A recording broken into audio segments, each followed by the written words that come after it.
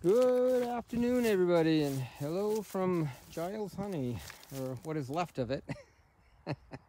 so uh, I'm kind of taking everything with a grain of salt right now, with a little bit of humor. But uh, uh, if you watched my previous video, you'll know that I did not have a good survival rate. Out of, out of uh, a field of about 10 hives, I thought this was my only survivor. But me come back over here. Comes to find out, when I glanced into this one, I guess I didn't glance good enough because when we look inside, we have bees.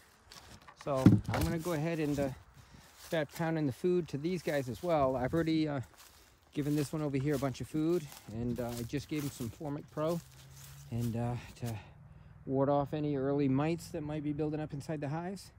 And then uh, we're gonna be cleaning up. We're putting all the dead outs and all the extra stuff over here on a pallet.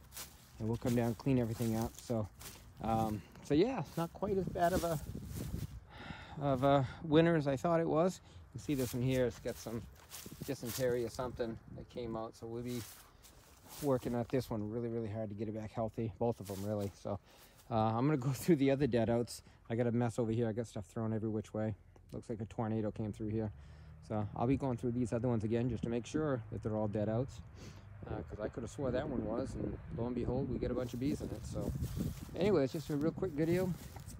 Um, we'll uh, we'll be, I think, after a little bit of contemplation, I think I am going to try to build back up this year. So if I can get these two to build up, I'll split both of them into probably three each, so that'll give you back up to six. That's probably all I'll do this year. Um, you know, last year at this time I tried getting up to 20. Uh, I just don't have the time. I don't have the space.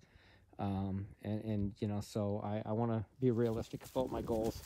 So, and plus I've got some other other stuff going on with the grapevines as well. So this whole field might actually be turned into a, a vineyard here at some point. But uh, in the meantime, we'll we'll keep the bees kind of at a level where I where I think I can manage. Uh, yeah, last year they got a little bit ahead of me, so we'll we'll you know, kind of regroup, reevaluate, and kind of figure out what we want to do. But uh, okay, so we got the yard pretty much cleaned up.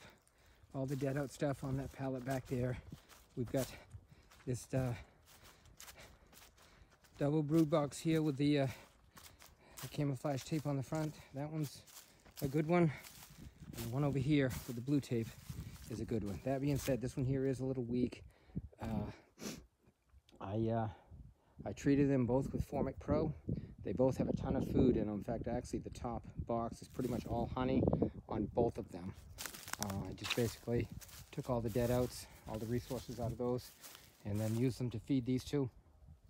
And then I still have 15 frames with honey on them, honey, pollen, and whatnot here that I've got to uh, uh, protect a little bit. What I'll probably do is just, for now, just to protect them, make sure other animals don't get in, is, is just create a you know a three stack on one of them or two of them.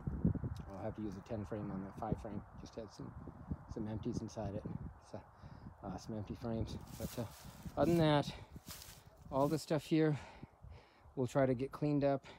Surprisingly, out of all these dead outs down here, and uh, I didn't even have I didn't have mouse guards on, and a lot of them I didn't even have the entrance reducers on surprisingly, and I know if you watch my other videos, you know that it was, it was extremely horrible beekeeping last winter just because of, you know, life and whatnot. But I can't do anything about it now. So uh, that was the only one that had a mouse in it.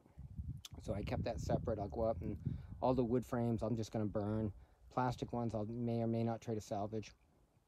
Uh, you know, I'll scrape them down really good and, and uh, clean them with some uh, Clorox or whatever to get all the germs off. And then the brood box, I'll take a uh, uh, blowtorch and uh, just kind of go around it and make sure I'm killing off all the germs. Wash it really good um, before I decide to put it back in into the rotation. But other than that, I'll, like I said, I'll be cleaning up a lot of this stuff and then uh, storing a lot of it because I'm, I'm not going to be doing 12 hives this year. I might get up to six uh, just because I, that's all the time I have for. Uh, but anyways, so there we are, you know